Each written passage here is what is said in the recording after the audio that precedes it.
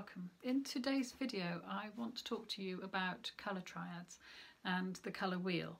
Uh, I've made lots of examples that I want to talk to you about um, and I also want to demonstrate how I'm going to use a colour triad um, for painting this little setup that I've got here today in acrylic paints. Uh, some should be some really useful stuff in there for you. Um, to begin with, I'll show you the colour wheels that I've painted using a range of um, everyday kind of colours really, the sort of thing you're likely to have in your uh, acrylic colour set or any painting set. Um, and then I'll go to a time lapse of this painting being made and then I'll come back and sum up at the end. Okay, I hope you find it useful. See you later. It's a good idea to consider the feel of the painting you're going to create before you start. The tones, brush marks and colours are as important as the subject for creating a particular mood in your work. For example, brooding or calm, serene, or maybe joyful.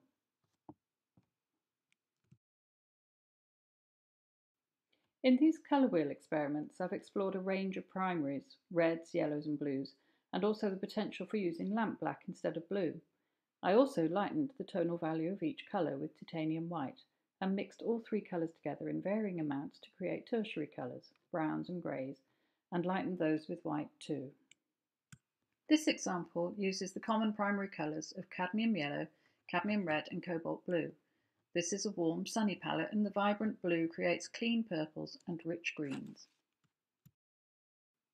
The cooler lemon yellow in this colour wheel creates lime greens with the ultramarine blue and vibrant oranges with the alizarin crimson. Ultramarine blue has a purple quality that makes the most vibrant mauves when it's added to the bluish alizarin crimson. In this colour wheel, the warm, earthy qualities of the yellow ochre, cadmium red and lamp black create rich colours. This is a similar range of colours as the Zorn palette, created by the Swedish artist Anders Zorn as a scheme for portrait painting. The lightened colours around the edge of this wheel give you an idea of how this would work. It is useful to think of the colour wheel in terms of temperature, with the blue side of the wheel being generally cool and the orange side being warm. In this wheel, the coolness of the ultramarine blue and the warmth of the burnt sienna and yellow ochre is particularly striking. A triad system for a limited palette is found by selecting colours that are equally spaced around the colour wheel. This diagram shows a triad of the three primary colours cadmium yellow, cadmium red and cobalt blue. Triads like this make for a vibrant painting, so it may be worth selecting one colour to be more of an accent colour in the painting and allowing the other two to be more dominant. This diagram shows complementary colours. Each colour on the wheel has a complementary or contrasting colour opposite it. This means that these colours enhance each other. For example, red looks redder next to green and vice versa.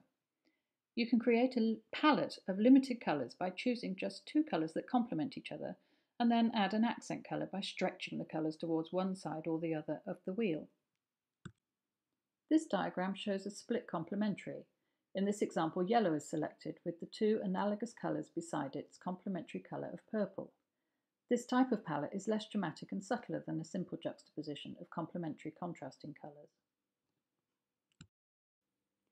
In this final example, the three colours have been selected from one side of the wheel to create a harmonious palette of similar colours. In this instance, the palette is selected from the warm side of the wheel. This is the primary colour triad I have used in the following demonstration. Cadmium yellow lends warmth to this rich palette and creates earthy greens when combined with the lamp black. The cadmium red and lamp black combination also creates voluptuous purples.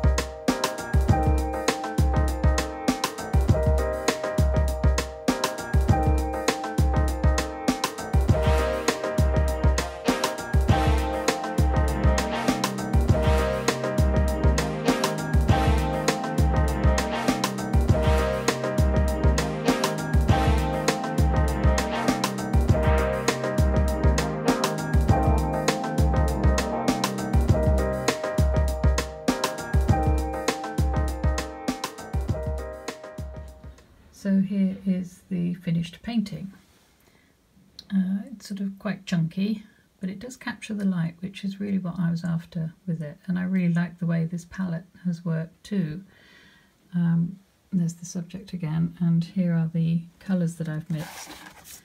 Um, as you can see, they're all just variations of those three basic colours of cadmium yellow, cadmium red and lamp black with the addition of white. But I seem to have managed to do what I needed to do there.